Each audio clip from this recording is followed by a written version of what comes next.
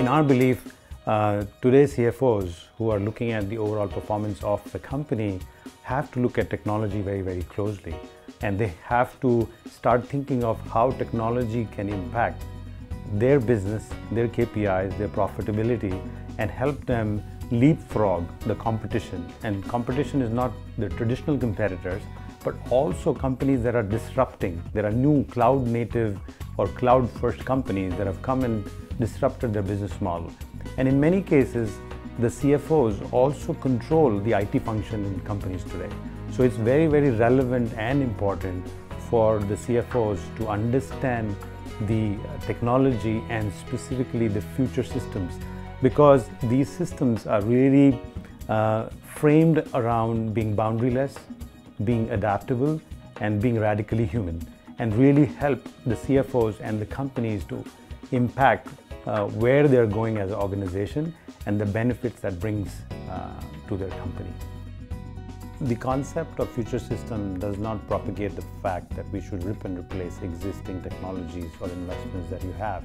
In fact, the investment in yesterday's technology has to be harvested by newer concepts like digital decoupling, where you can use technologies like APIs, containers, cloud, and really create an interface between the existing systems and new environments.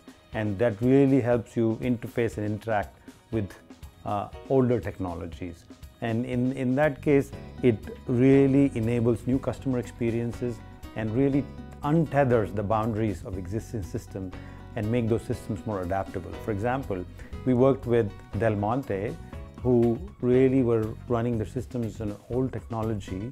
We worked with AWS to migrate their systems onto the AWS cloud, and suddenly uh, they were able to do better customer service, better engagement with their partners, as well as save some costs that could be used for innovation in other areas of the company.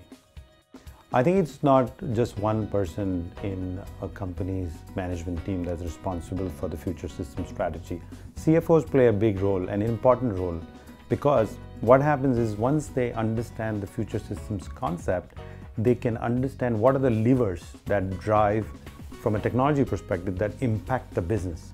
For example, if they understand technologies like microservices and containers and cloud, uh, and work, understand what it takes to work with companies like AWS, then they can really take that and implement that uh, in their financial KPIs and use that to save cost on one hand, but use this cost saving to transform the core as well as use it for innovation. So CFOs, if they're technology savvy and understand future systems, can really impact the overall business for the company.